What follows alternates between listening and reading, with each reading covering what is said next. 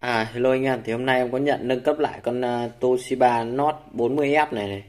Đấy thì uh, máy này nó hơi yếu một chút thì uh, khách yêu cầu uh, nâng cấp đánh rô phi. Đấy thì em đã nâng cấp xong nhá. À, tần số nó sẽ cao lên và em đã thay lại đôi kẹp bình cho khách này. Đánh tần số cao thì phải uh, máy nó chạy quá công suất của máy thì phải làm kẹp kiếc nó ngon thì nó mới ổn định được nhá. Thì uh, mình đã làm xong này.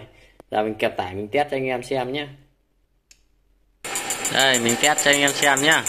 Đấy thì mình đang để nó chạy tự động luôn. Thì mình để cái kìm ở kia. Test này đấy.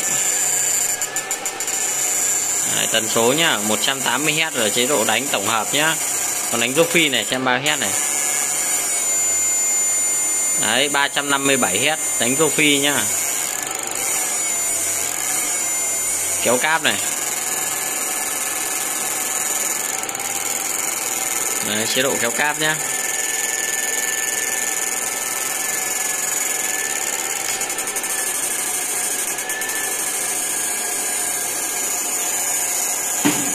Đấy anh em thấy chưa? Không vấn đề gì máy rất là mát Mình đã độ quạt rồi nên là không sợ đánh tần số cao đâu. Đấy.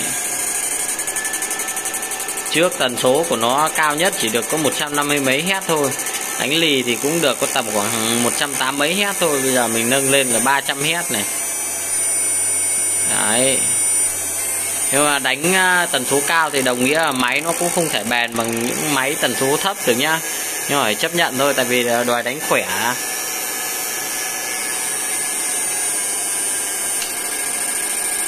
Máy này thì không phải mua của bên mình nha mua ở số khác. Mình về mình nâng cấp lại cho họ nha chế độ kéo cáp này. Đấy. Chạy dàn luôn, không vấn đề gì.